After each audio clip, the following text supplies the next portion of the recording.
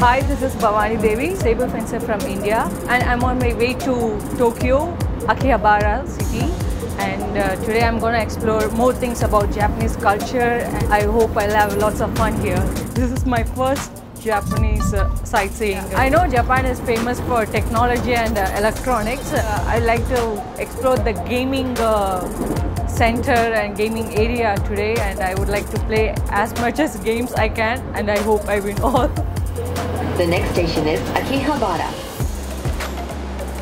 and I'm here in Akihabara. There's so much music and so much light here and it gives me lots of energy. Uh, yeah, even in India it's similar. We have so many colorful uh, dresses, colorful cities and so many musics and uh, I feel the same here. Look at them, there are so many people. I live most of my days in Italy. I never seen this many people in Italy. It feels so good to see many people in the street.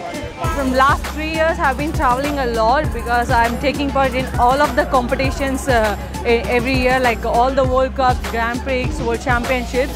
So I travel a lot. I've just found the arcade center. I'm gonna get in and see what are the games they have.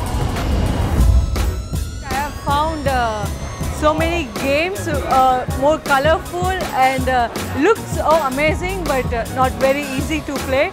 But I still find some games which I can play better than the others. And uh, first thing I found the man playing with the drums. I don't know what what game it was. He taught me how to play with the sticks, and it was really fun. I don't know what I did. I was just moving my sticks on the drums. And then I found the game which I can call hand-eye coordination game like in fencing we do. I have to move my both the hands uh, but soft and uh, I have to tap on the buttons when the signal moves on the mark. It was really fun and it has taken my energy and now I'm really hungry and I'm gonna try some Japanese food for tonight. Today was uh, awesome actually because uh, it's the first time I visited the town, it's Tokyo. Uh, I think for every athlete, Olympic uh, participation is a big dream and uh, fencing is very new to India. So I, I'm trying to give my best in all international competitions. I started my preparations uh, from the year 2016. Uh, I'm working hard and uh, focusing more on my preparations and the process for the qualifications of Olympic Games. And uh, I hope to come back to Tokyo again in 2020 and get to know more about the Japanese culture.